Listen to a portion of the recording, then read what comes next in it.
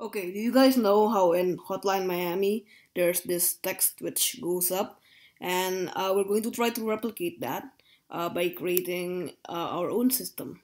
So this is how it looks like. It's quite different from Hotline Miami system, but it's um, you can modify it on your own, so you can uh, change it to how you feel it should be.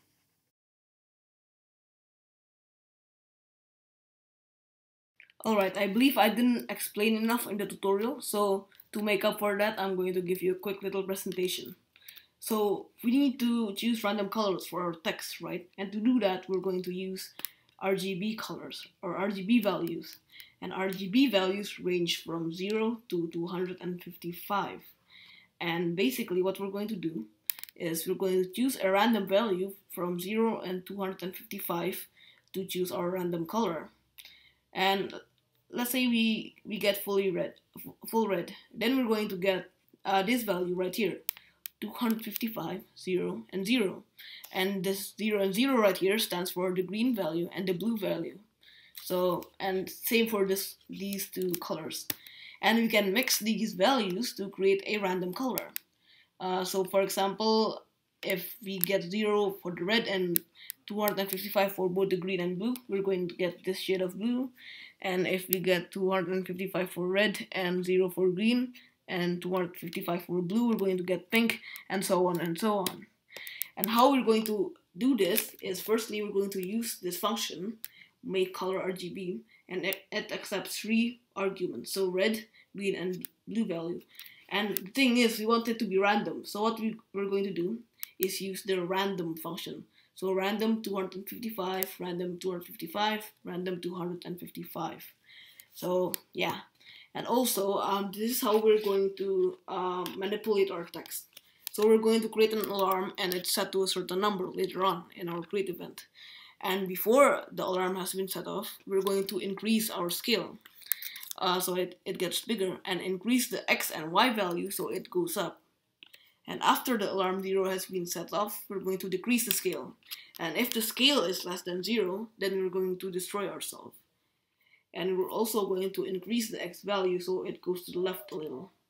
So that's it guys, um, and we're going to go right into the tutorial. Okay, so the first thing you want to do, I hope this works, okay.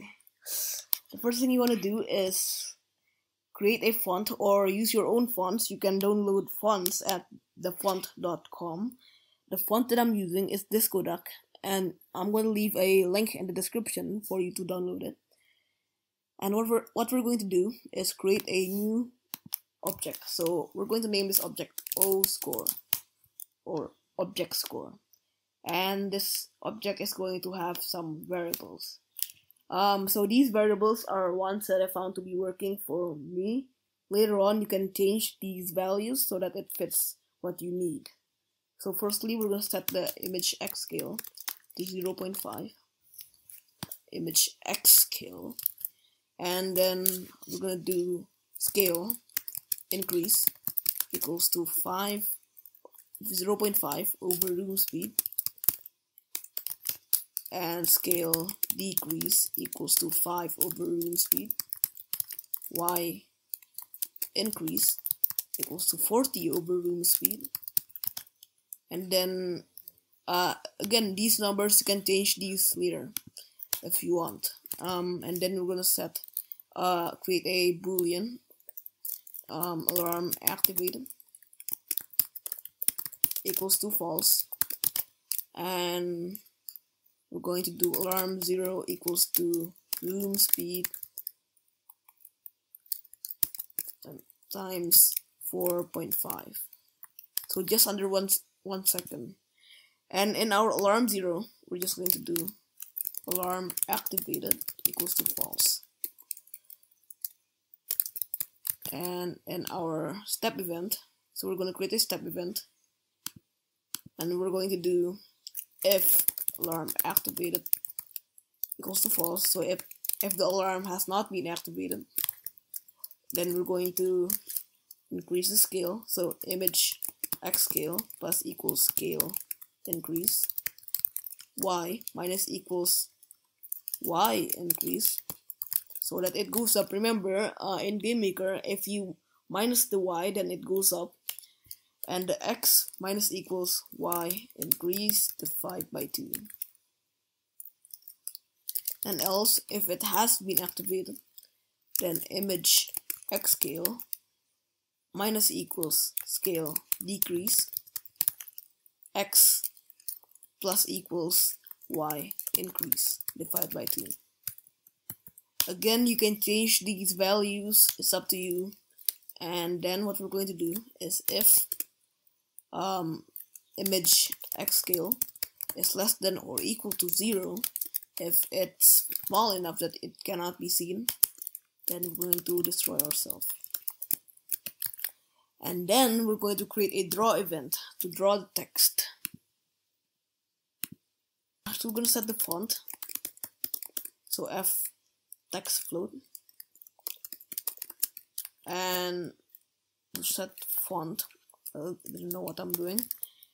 And we're gonna set four different variables. So the uh, ran color one which um, stands for random color one. And what we're going to do is select a random color so we're going to do make color RGB make color red green blue. I'm gonna select a random shade of uh, red random shade of green and random shade of blue. Okay. Two three four and then what we're going to do is we're just going to do draw text transformed color. And the x will be x y text we're going to define the text variable later. And the x scale will be image x scale. The y scale will be image s scale because we want it to, to be the same. Angle will be zero uh, the color will be ran color 1 ran color 2 ran color 3 ran color 4 we're going to actually enter this so that it's much more readable. And the alpha set it to 1 so it can fully be seen. And actually um we have a slight problem here. If you saw the intro then you will know that we have a an outline behind the text so how we can achieve that is by let's let's just um, duplicate this and put this behind the text. And we're going to change these colors to black because we want the outline to be black. So uh, C black.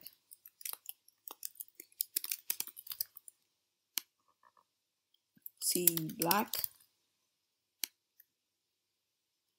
uh, C black and C black. Alright so now we're going to change the x. So x minus 2 or x yeah x, actually yeah x minus 2 and y minus 2 or y plus 2 because we want it to appear behind the text. So you'll see what will happen.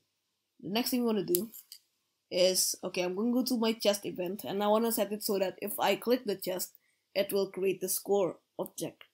But uh, you can do like for example if you kill an enemy it will appear and its destroy event so you can do you can create the score event in your enemy's destroy event or whatever. But what I'm going to do is do instance um var score because we want to refer to our object later on. Instance create layer. X y. Uh now you want to create a new layer so that it's above everything. Uh you want to create a new layer for this.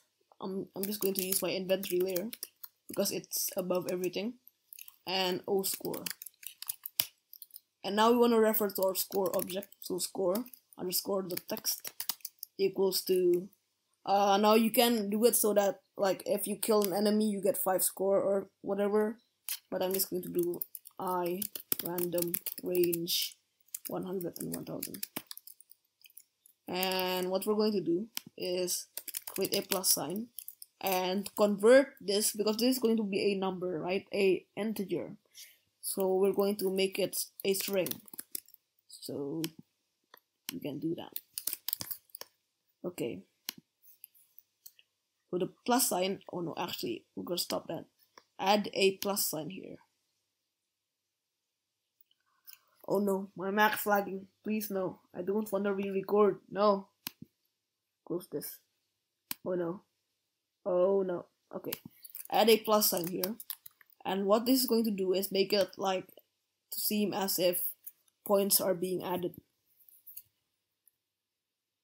And of course in here you can do um like for example if you have a points variable or a score variable you can do score plus plus or something like that and in here as you can see. Oh wait. We did something wrong. Oh yeah I know what we did wrong. Okay so in our score event in our step event we want to do minus equals image x wait actually. Did we set our alarm zero? Oh my god let's change this. This is false. We're gonna change this to true. Okay so that's what was wrong. Okay. Oh my god. I really messed things up today. Um I've tried recording five times this morning but I always somehow mess up. Like the third time I recorded my laptop fell. So yeah.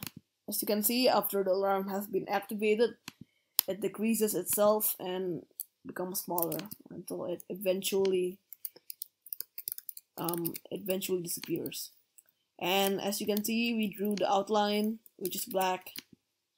And we added the plus sign.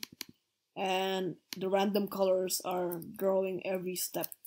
So yeah that's it for this tutorial. And I'm going to see you guys later